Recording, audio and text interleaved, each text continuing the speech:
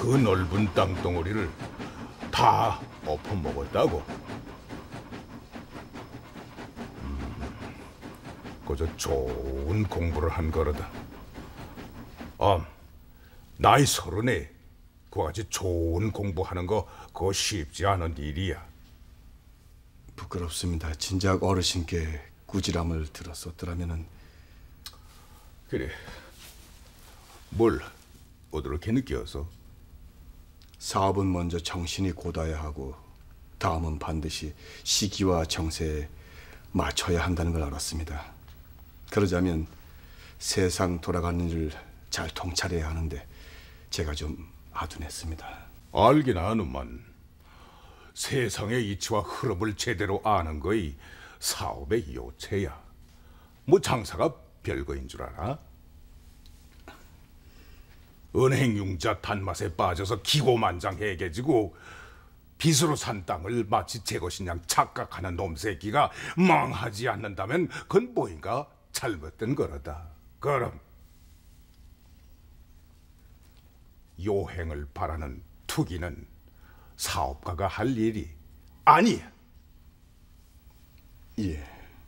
사업가는 그저 땀을 흘려가면서 생산을 창출해야 해.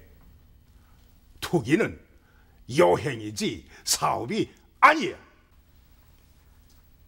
명심하겠습니다. 그래 그 엄청난 부채를 한 푼도 남기지를 않고 다 정리를 했다면서 그래도 아직은 쓸만한 구석이 남아 있었댔구만. 덕분에 적수 공권 빈털터리가 됐습니다. 그래 어전 어떻게 할 작정이야? 예, 대륙 여행을 하고 올 작정입니다.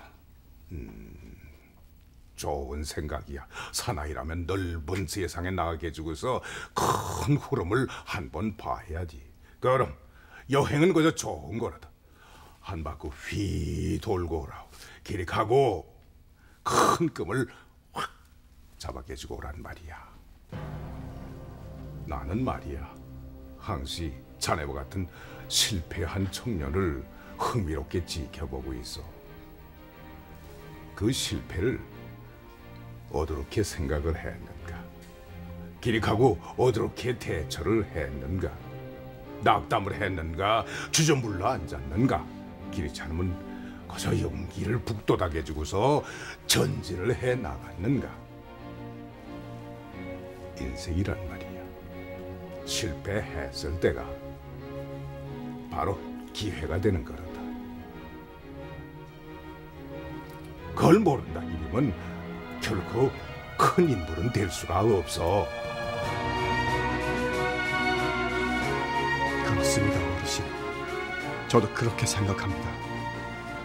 저는 절대로 실패하지 않았습니다. 지금 다시 시작하기 위해서 가고 있는 것입니다. 다시 말입니다, 어르신.